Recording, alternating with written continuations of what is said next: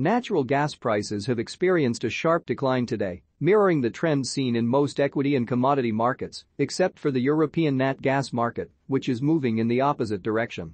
Why natty is lower could be for many reasons, including the weather data trending a little cooler, but also potentially because the pattern for late August favors the hot upper ridge weakening, including over the southern U.S., which would decrease coverage of highs into the 90s and 100s.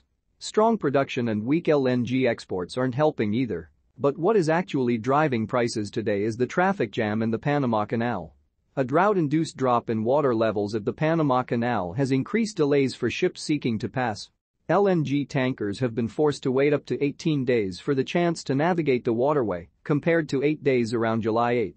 Meanwhile, gas flows to U.S. LNG export plants have been decreasing thus far in August, and the delays in the Panama Canal could potentially result in temporary oversupply conditions in the U.S. domestic market. To the bullish side, next week's heat is still impressive, and surpluses of plus 302 billion cubic feet will tighten to near plus 250 by late August. Meanwhile, European natural gas futures surged 15% to nearly 40 euros per megawatt hour, their highest since June, as investors assess the possibility of strikes occurring at Australian LNG facilities. Preliminary talks between unions and the LNG projects failed to yield any breakthroughs, leaving uncertainty looming.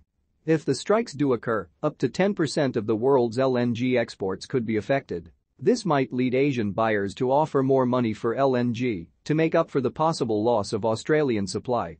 In addition, U.S. exports of LNG are currently more profitable to Asia from September to November, and there might be less LNG available this month.